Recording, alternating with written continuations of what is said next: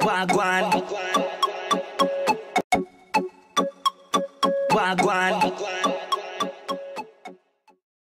Wagwan YouTube family, my name is Eric. This is the Eric Evolving channel. If you're not yet subscribed, you know what to do. Go ahead and subscribe right now. So this is my in the news segment from Tampa, and uh, one of the stories that I was following was the depression in Pasco County, um, which uh, they have found that this is in fact not a sinkhole, and it is just a depression. And uh, I'll show you the news clip in a minute, but I was like baffled that a depression and not a sinkhole would be 130 feet deep. One side of me is like, yeah, it's great that it's not a um, sinkhole, but I'm like, if it was a sinkhole, how deep would it be? Um, which is crazy to me. What they're gonna do now, they're actually just gonna fill that pretty that hole pretty much with dirt, sand, whatever they do it. You know, whatever the professionals do, they'll fill that hole and uh, they'll move on. So check this out. Pasco County Emergency Management says there is no sign of sinkhole activity in the depression in New Port Richey. Crews did ground penetrating radar tests on this massive hole. They found the soil and limestone are stable. The 130 foot deep hole caused the nearby Varsity Club sports bar to be shut down at the beginning of this month.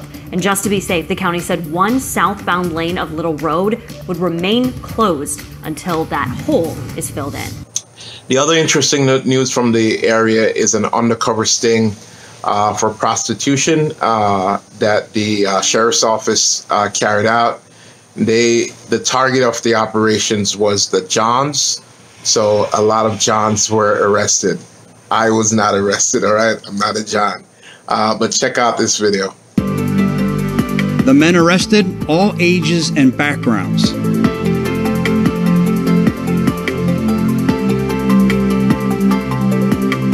The driving force of human trafficking is and will always be the desire and willingness of Johns, who are the customers, to pay for sex with people who are the victims of this industry. Without the demand, this industry falls apart.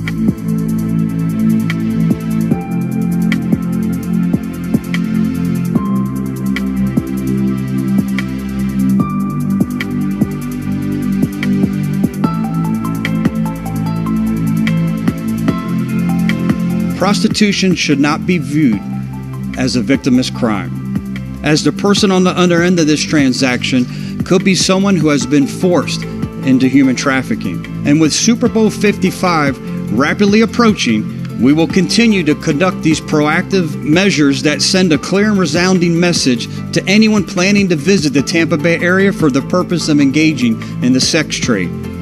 You will be arrested.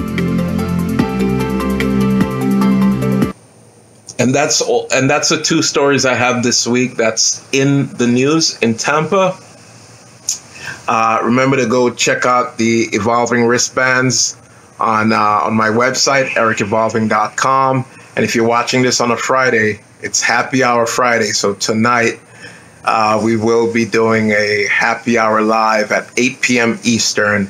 So if you can check it out. It's usually a good time. This would be live number three. You get to ask any questions you want to ask, and uh, we just have fun and relax and enjoy the Friday evening. All right. Thank you guys so much for watching the video. Please like, comment, and subscribe, and I'll see you in, in the next video. Peace.